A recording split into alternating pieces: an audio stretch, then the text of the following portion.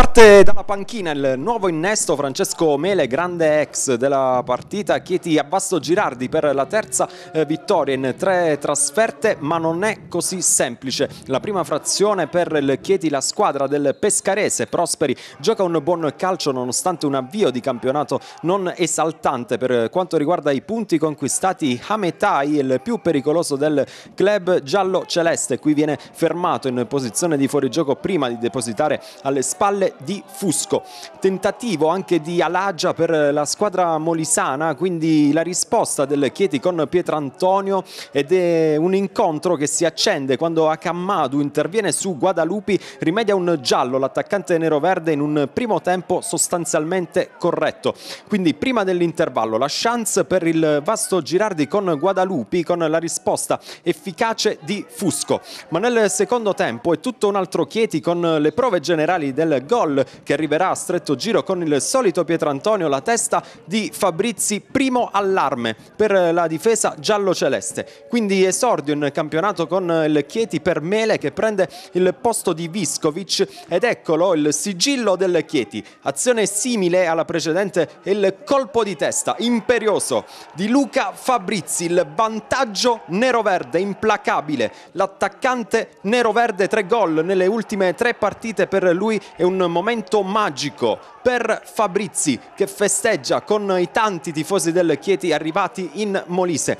1-0 del Chieti e 2-0 solo sfiorato con Rodia che nel frattempo aveva rilevato a Cammadu inizia lo show di Davide Di Stasio, palla che colpisce anche la traversa ma risultato che resta in bilico. E Vasto Girardi che trova il gol del pareggio grazie a Marco Mingiano. Nulla da fare per Fusco, arriva dunque l'1-1 del club molisano ma il Chieti della ripresa è a da applausi con Verna superlativo ma con un eh, vasto Girardi che può contare su Distasio.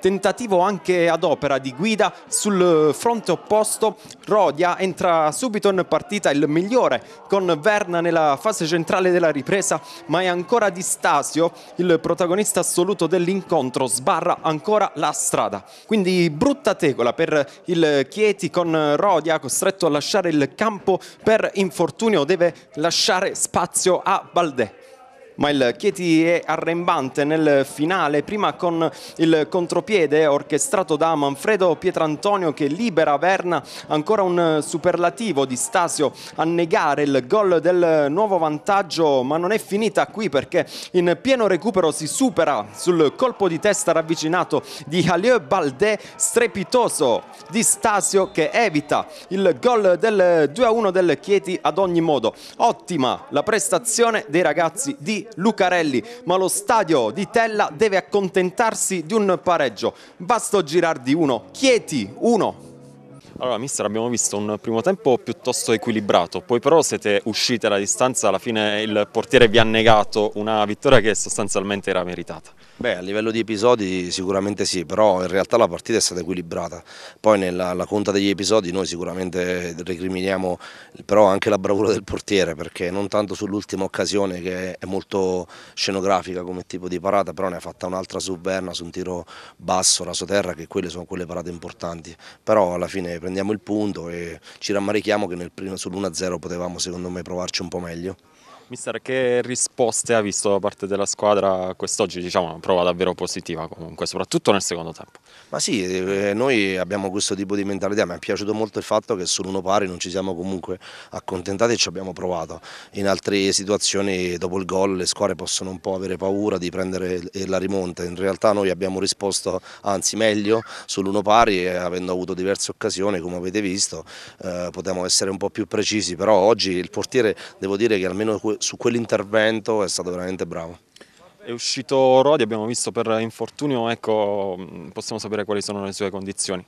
Beh, domani tra 24-48 ore sapremo un pochettino di più, però il ragazzo ha sentito subito che gli ha tirato l'adduttore, quindi sicuramente prenderà un periodo di, di, di, fermo, ma questo non è un problema perché noi abbiamo una, una rosa che ci permette di, senza problemi di sostituire alcuni calciatori partire da uh, mercoledì quando c'è l'impegno in Coppa Italia suggestivo contro San Benedettese. Sì, è chiaro che dovranno giocare gli altri titolari e quindi giocheremo con altri 11 titolari eh, perché noi abbiamo comunque una squadra che ha tutti gli elementi che possono giocare, poi dipende dalle scelte che io faccio settimana per settimana, però faremo una grande prestazione perché è una partita suggestiva, eh, è chiaro che per noi l'importanza è il campionato, però eh, questa è una partita che noi vogliamo cercare di fare bene perché è la mentalità della squadra e di cercare di fare sempre bene.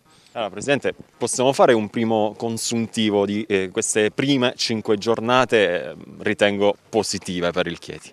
Sì, sì, un inizio positivo, siamo partiti bene, eh, quindi possiamo essere contenti della, del nostro percorso fino ad oggi.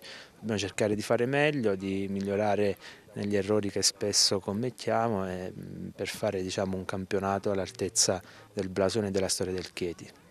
Abbiamo visto anche quest'oggi un gran seguito da parte del tifo, il tifo caldo delle Chieti vi hanno sostenuti praticamente dal primo all'ultimo minuto, se vuole fare un commento anche su questo fattore, che è determinante. Sì, per noi è importantissimo, Io, noi li ringraziamo perché sono veramente fantastici, ci seguono in, in, casa, in trasferta, sono sempre numerosi e sono veramente eh, quella forza che ci danno per, per, fare sempre meglio e per andare avanti. Per chiudere Presidente, eh, l'obiettivo resta quello di una salvezza tranquilla oppure eh, adesso l'asticella si alza un po' queste, alla luce di tutte queste prestazioni molto positive da parte del Chieti? Eh, l'obiettivo è quello di fare bene, noi l'abbiamo detto dall'inizio, è normale, il primo obiettivo è la salvezza, raggiunta la salvezza poi se si può fare meglio eh, siamo contenti e questo è ancora più importante, normale, eh, l'obiettivo del Chieti è, l'abbiamo detto all'inizio, di fare bene. È una partita contro una squadra forte, una squadra forte che sta facendo un buonissimo campionato. Abbiamo, secondo me abbiamo fatto delle, tante buone cose, qualcosa meno, mm, però mi è piaciuta, la squadra mi è piaciuta molto. Mi è piaciuta molto per come l'ha affrontata, per come l'ha preparata e per come ha, ha impattato contro una squadra forte, non dire che, che ci giriamo intorno.